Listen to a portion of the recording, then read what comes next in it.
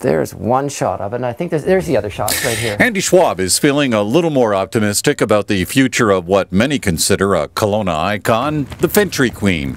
Not that long ago, Schwab put out a public appeal for investors to come forward because time was running out for the Fintry, which ran into bankruptcy three years ago when the owners pulled the plug. In, in August of 2008, they just all walked off. As the Fintry sits idle over the years, it has accumulated a large debt. For instance, it owes the city up to $80,000 in docking fees alone, and the list keeps growing. The Cove is owed over $100,000 for damage to a dock.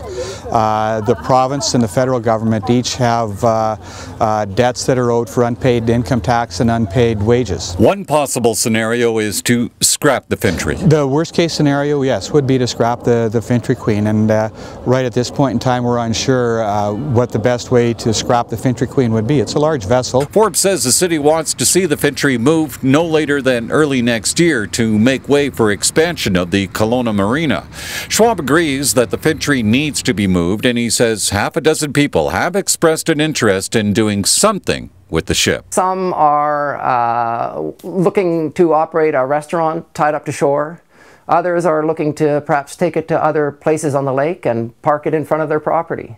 And others are interested in just purchasing the vessel, and others are interested in operating it. Schwab puts the chances of the Fintry sailing again at 50 50. Kelly Hayes, Castanet Media.